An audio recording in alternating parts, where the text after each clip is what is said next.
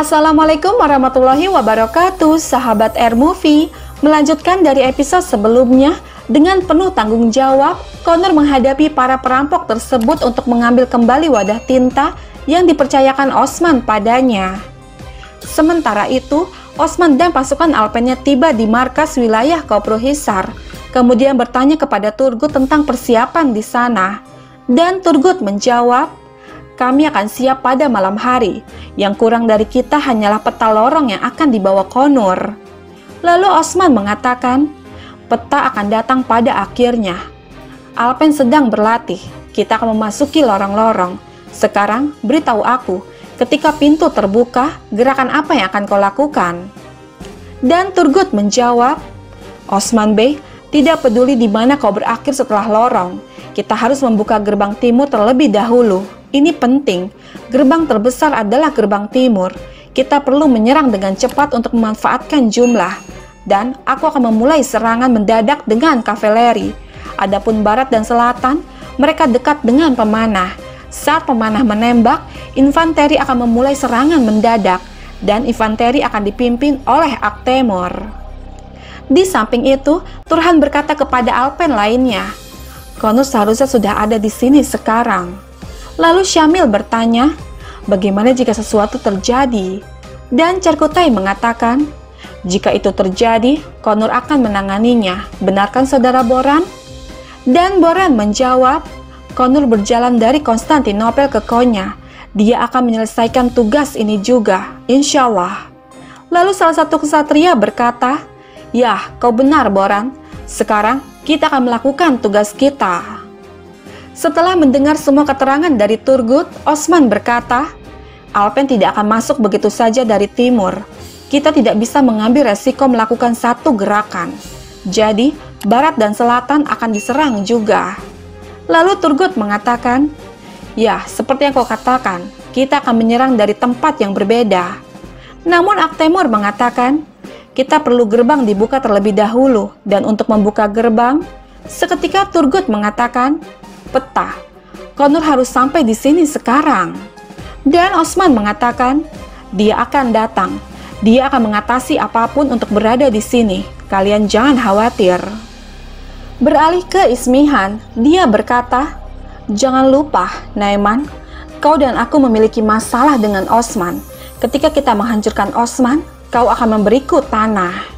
Lalu Naiman mengatakan, Selama kau setia padaku, Kau akan memiliki semua tanah yang kau inginkan, Ismihan. Aku butuh orang yang setia, bukan pemberontak. Karancu, kau akan memimpin para prajurit. Saat malam tiba, serang mansion.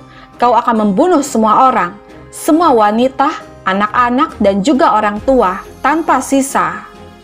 Kemudian Ismihan menghampiri Bayindir seraya berkata, Bayindir, kau ingin aku memaafkanmu, ya kan? Sekarang inilah kesempatanmu. Karancu, para prajurit dan juga dirimu akan pergi ke Yenisehir. Setiap darah yang kau tumpahkan dari keluarga Osman akan mendekatkanmu untuk dimaafkan, Bayindir. Dan Bayindir menjawab, untuk dimaafkan olehmu, aku akan melakukan apa pun, Hazrat Frede Sultan.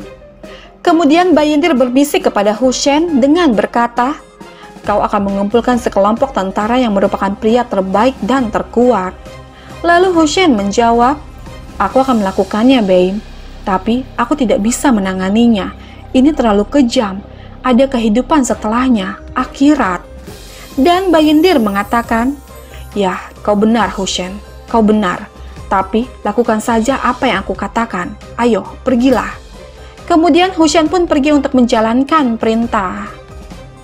Beberapa saat kemudian, malam pun tiba di Yenisehir saat para hatun tengah berkumpul untuk buka puasa bersama. Malhun berkata, Apakah kamu menemukan tempat untuk rumah zakat, Bala? Dan Bala menjawab, Kami memeriksanya, tapi kami belum menemukan tempat yang cocok. Kita membutuhkan tempat yang lebih ke pusat. Besok kami akan memeriksanya lagi.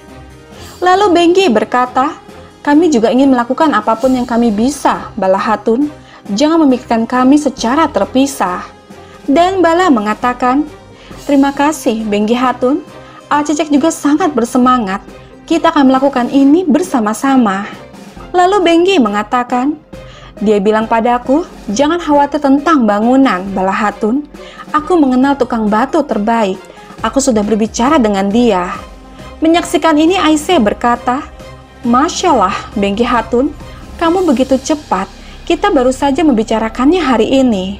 Seketika Bengki mengatakan, kau harus cepat dengan perbuatan baik Aisyah Hatun.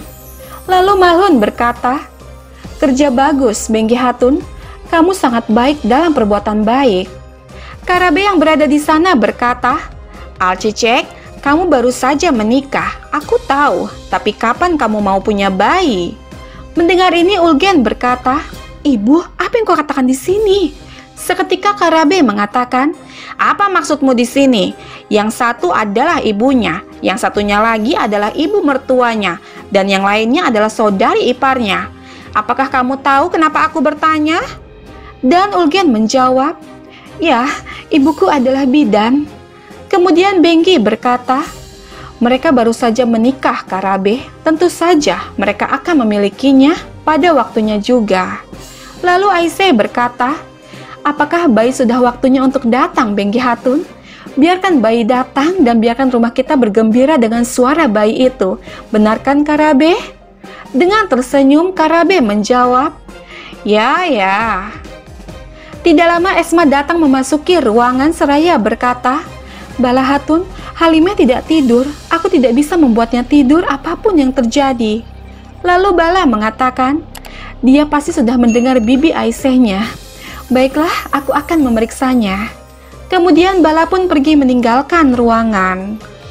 Sementara itu, di markas para kesatria, Turgut berkata, Katakanlah kita merebut Kopruhisar, apa yang akan kita taklukkan selanjutnya? Dan Osman menjawab, kita ambil dulu Kopruhisar, setelah itu baru kita tindak sesuai intel. Tapi kami ingin mengambil tanah sampai Koyon Hisar terlebih dahulu.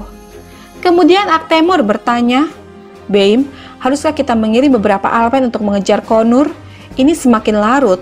Jika mereka tahu kita di sini, mereka akan menutup lorong. Namun Osman mengatakan, tidak, dia pasti akan datang. Tapi beritahu aku, apakah Alpen berjaga di sekitar markas?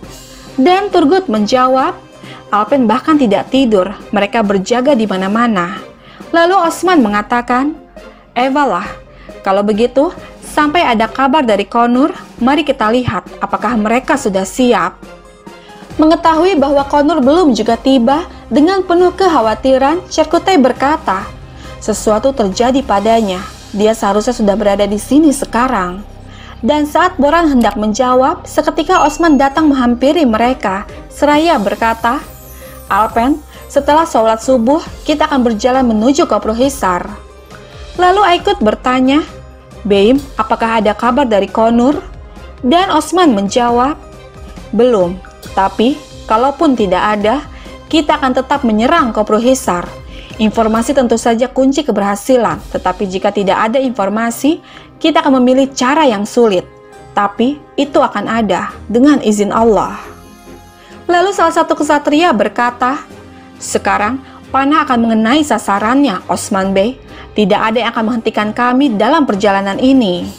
Dan Osman mengatakan, Evalah, Evalah, Boran, ambil instrumenmu, mari kita dengarkan musik. Namun saat Boran tengah memainkan lantunan musik untuk menenangkan hati para kesatria, hal yang tidak diduga terjadi seketika mereka mendapatkan serangan bertubi oleh para knockers. Kemudian Naiman berkata, Osman, aku sudah berjanji satu hal padamu, bahwa aku akan kembali untuk membunuhmu. Aku memiliki segelnya, aku memiliki kekuatan. Semua yang kau punya adalah kematian.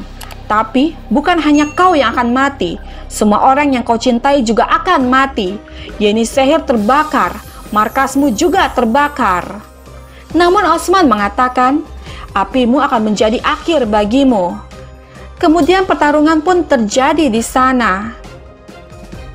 Bukan hanya itu, secara diam-diam, musuh pun menyelinap masuk ke mansion dan menghabisi semua alpen penjaga tanpa suara. Halimah yang terus-menerus menangis tanpa sebab membuat Bala sangat bingung.